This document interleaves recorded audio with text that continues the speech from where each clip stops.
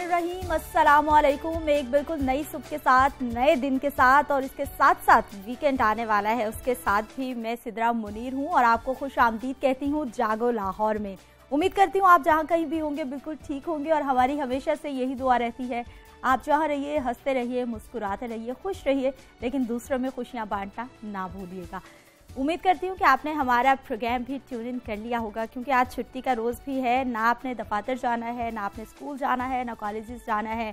खातन जो है, उन्होंने अभी नाश्ता या बनाने का आगाज़ नहीं किया, बल्कि वो भी कंबल से, अपने बिस्तर से हल्का हल्का जो है वो फेस निकाल कर टीवी रिमोट ढूंढते हुए जो है वो उन्होंने प्रोग्राम लगा लिया होगा कि जागो लाहौर, आपके घर में पहुँच चुका है। आपको बताने के लिए कि आज शहर में क्या होने वाला है, कल शहर में क्या हुआ था, तमाम हालात हाजरा से भी आपको अपडेट रखते हैं और उसके साथ साथ ट्रेन और फ़्लाइट शेड्यूल के हवाले से भी हम बात करेंगे।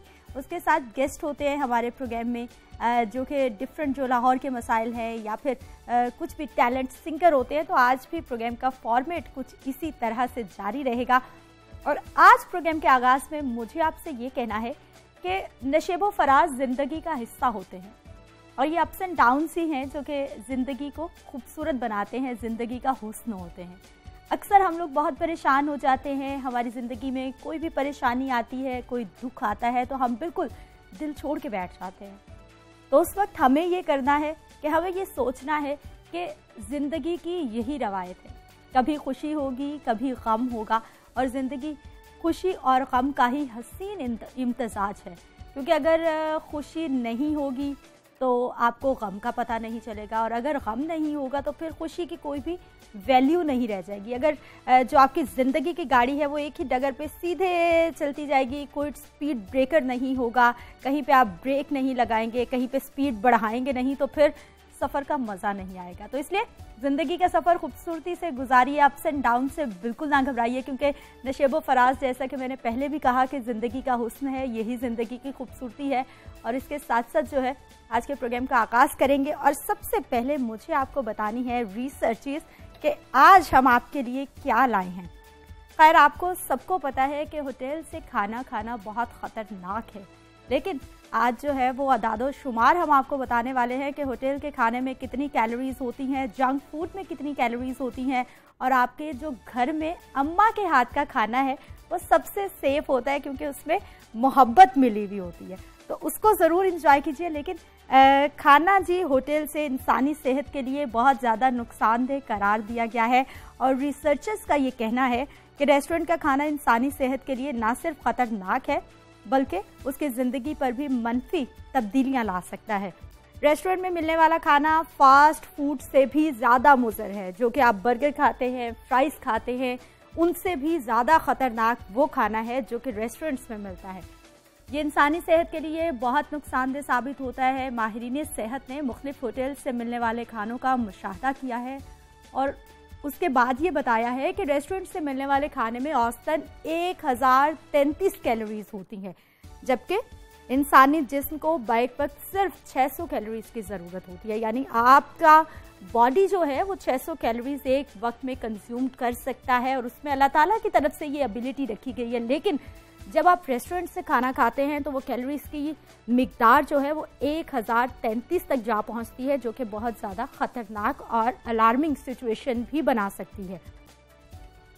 फास्ट फ़ूड में शामिल अशिया में सात सौ इक्यावन कैलोरीज होती हैं, जो वैसे ही इंसानी सेहत के लिए मुजर है, और उनके इस्तेमाल से मुख्तलिफ़ अमराज लाक हो जाते हैं।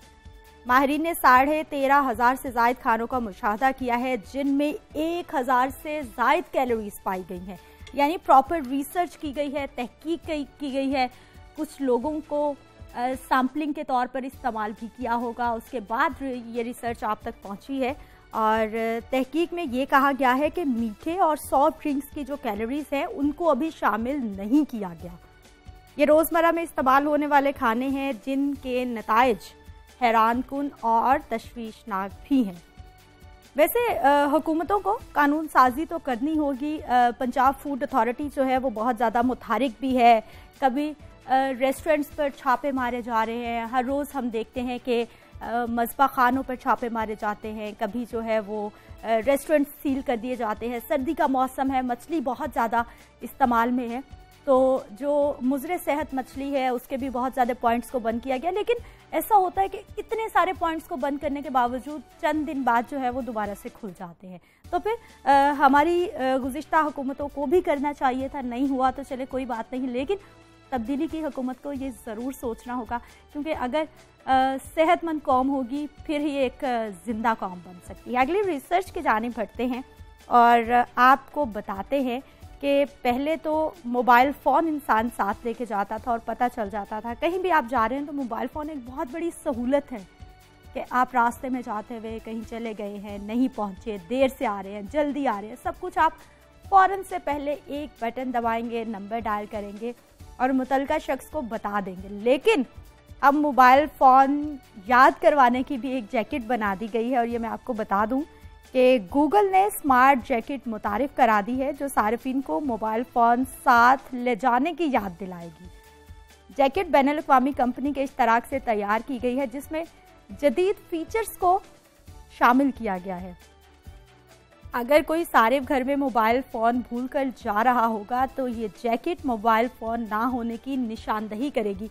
हो सकता है कि इस जैकेट में कुछ ऐसी चीज़ें हों कुछ ऐसी अलार्मिंग सिचुएशन इसमें डाली गई हो कि अगर आपके पास मोबाइल फ़ोन नहीं है, आपकी पॉकेट में या फिर आपके हाथ में नहीं है तो वो सायरन की तरह बजना शुरू हो जाए। ऐसा ही होगा वैसे कुछ कि आपको फ़ौरन से पता चल जाएगा कि आपके जेब में या आपके पास मोबाइल फ़ोन नहीं है। खैर, एक, ये भी एक अच्छी चीज़ है कि मोबाइल फ़ोन अगर आपके पास नहीं है तो ये जैकेट आपने पहन ली है तो फिर जैकेट आपको याद दिलाएगी कि मोबाइल फ़ोन अपने पास रखना ना भूलिए। और इसके साथ साथ अगर आपका मोबाइल फ़ोन कहीं गुम हो जाता है तो ये जैकेट आपको तलाश करने में मदद भी देगी। इस जैकेट में ऑलवेज टुगेदर नामी फीचर को शामिल किया गया है। जब कोई शख्स जैकेट पहनेगा और मोबाइल से फासला इख्तियार करेगा तो ये फीचर खुद ब खुद एक्टिव हो जाएगा और सारिफ को बताएगा कि उसके पास मोबाइल फ़ोन इस वक्त नहीं है। इसके अलावा जैकेट सारिफ को कॉल्स मैसेजेस से भी आगाही देगा।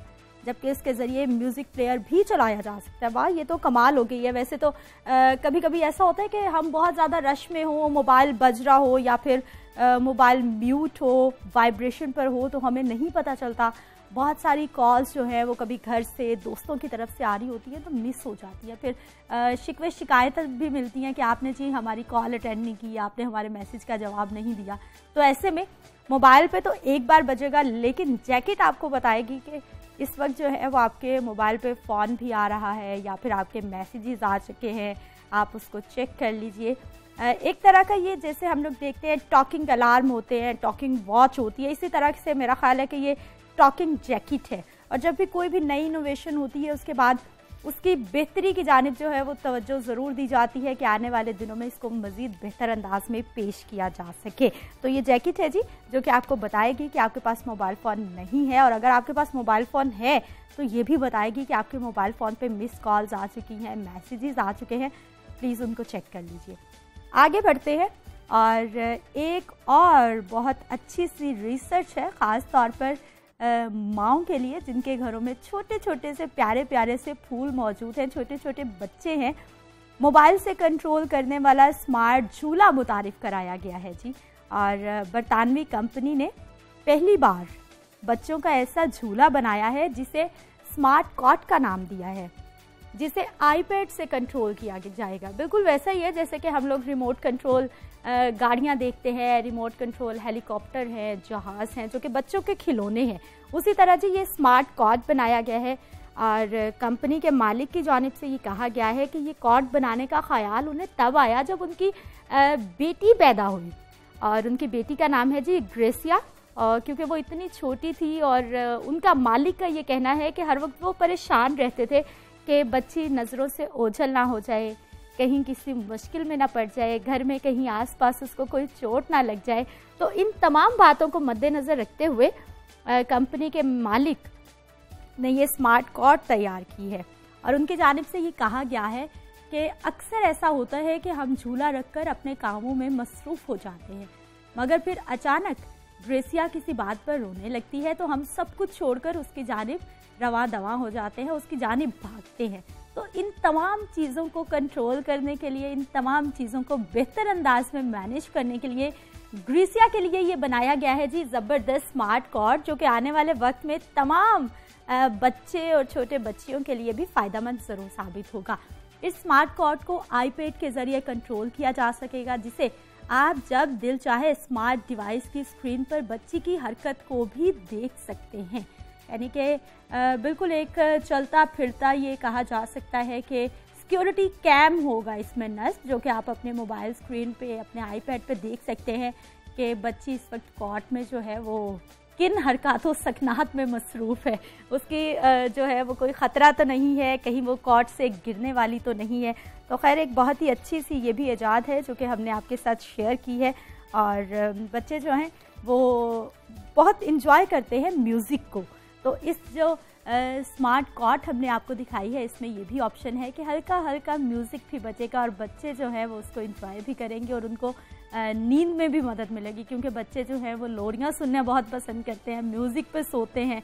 तो ये तमाम चीज़ें ध्यान में रखते हुए स्मार्ट कॉट को बनाया गया। अभी जाएँगे ब्रेक पर और ब्रेक से वापस आएँगे और आपसे बात करेंगे न्यूज़ स्टोरीज़ के हवाले से। तो मिलते हैं ब्रेक के बाद।